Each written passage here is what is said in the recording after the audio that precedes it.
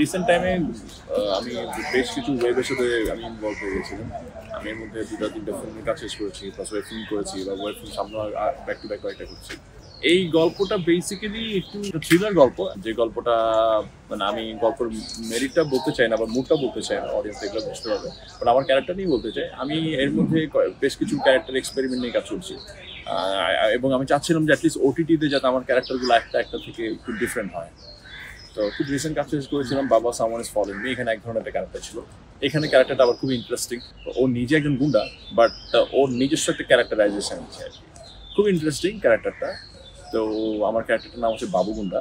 আমি একটু চাচ্ছিলাম যে মানুষ আমাকে দেখতে যে ডিসেন্ট একটা ইমেজ আছে, সেই ইমেজ থেকে ভেঙে একটু ডিফারেন্ট কিছু করা যায় সেই করা, সেই চেষ্টাটারই অন্যতম একটা প্রয়াস হচ্ছে এই ক্যারেক্টারটা সো আই হোপ যারা এই ক্রিমিনালস ওয়েব ফিল্মটা দেখবে আমার ক্যারেক্টারটা খুব পছন্দ কারা কারা আছে এখানে আমি আছি তানভীর হুরাই আছে তারপর নীল আছে আহ, তানজিকা আমিন অ্যান্ড রুকিয়া জাহান চলো বেসিক্যালি এই পাঁচজন পাঁচজনের একটা স্টোরি অন অ্যান্ড অফ খুবই ইন্টারেস্টিং একটা প্লট না না না বাস্তব জীবনে এত সাহস করি না আমি।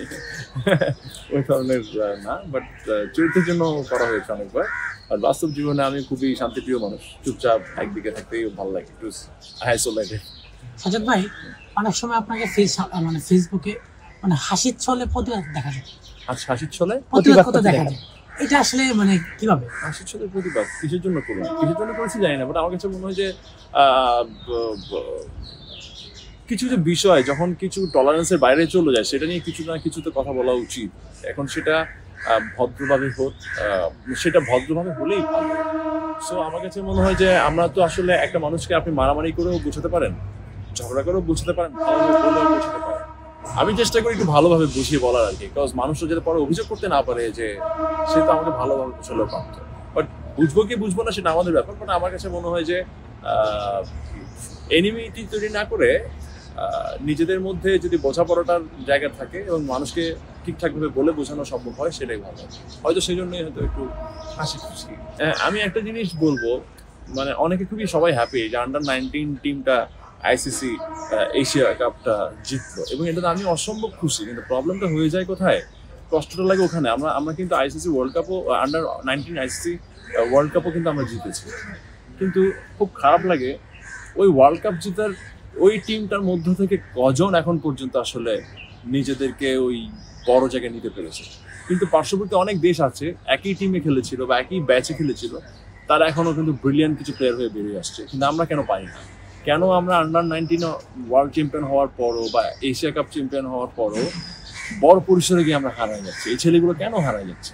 আমার কাছে এই কষ্টটা তখন বেশি আরও আরও আরও বেশি আসে যে আমাদের ছোটোবেলায় যদি একটা ছেলে ওয়ার্ল্ড কাপ জয় করে নিয়ে আসতে পারে বা একটা টিম জয় করে নিয়ে আসতে পারে তাহলে বড় হতে হতে ওরা কোথায় হারা যাচ্ছে এবং কেন হারা যাচ্ছে?